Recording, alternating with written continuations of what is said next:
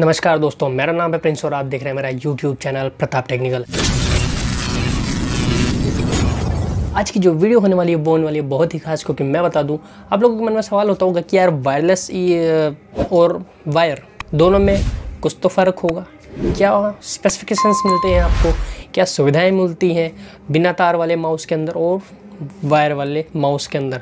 तो चलिए शुरू करता मैं आपको बताता हूँ आपको क्या क्या स्पेशल फीचर्स मिलता है। क्योंकि देखिए जो वायर माउस आते हैं, जिसके अंदर वायर लगा हुआ होता है ऐसा, वो थोड़ा कम कॉस्टली पड़ता है। लेकिन जो अनवायर माउस आते हैं, जो केवल आपको लैपटॉप में कनेक्ट करना होता है, और उसके बाद डायरेक्ट आप बिना तार के उस माउस को यूज़ कर सकते हैं तो उस, वो थोड़ा सा कॉस्टली पड़ता है, और वो क्यों कॉस्टली पड़ता है, मैं आपको बताता हूँ।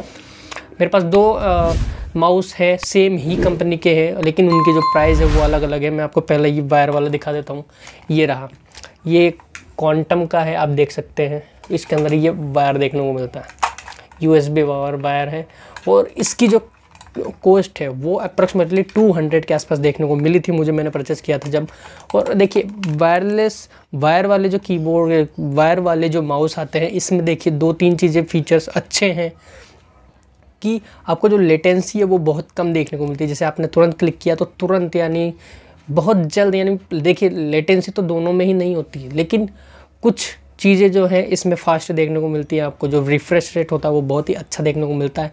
जो वायर वाले माउस की बात करें अगर तो और थोड़ा सा सस्ता भी पड़ता है, इसलिए भी बेटर है। लेकिन ये है कि हाथ बंधे हुए रहते हैं इससे, आपको सिस्टम के पास ही बैठकर इस चीज़ को यूज़ कर सकते हैं। ये एक माइनस पॉइंट है। लेकिन वायरलेस माउस में आपको बहुत फीचर्स देखने को मिलते हैं और वायरलेस माउस में आपको मैं दिखा दूँ, ये ये मेरे पास क्वांटम का ही है, वो भी क्वांटम का था, ये भी क्वांटम का है और ये भी सेम है, लेकिन इसकी जो कॉस्ट है वो थोड़ी महँगी पड़ी थी मुझे क्योंकि ये साढ़े तीन सौ या चार सौ के आसपास देखने को मिला था। लेकिन इसका फ़ायदा ये है कि इसके अंदर आपको ये देखने को मिलता है, आप इसको सिस्टम के अंदर लगाइए और आप कहीं से भी बैठ के यूज़ कर सकते हैं, क्योंकि ये डायरेक्ट देखिए वायर इसमें है ही नहीं ये आपने लगाया और कहीं भी 10 मीटर तक की इसकी रेंज है 10 मीटर की दूर तक भी अगर आपका सिस्टम या मॉनिटर पड़ा हुआ है और आप वहाँ से भी अगर इस चीज़ को ऑपरेट करते हैं तो आप इजीली ऑपरेट कर सकते हैं। तो ये एक बेटर ऑप्शन है, लेकिन इसकी जो ख़ास बात ये है कि आपको सुविधा तो मिलती है, लेकिन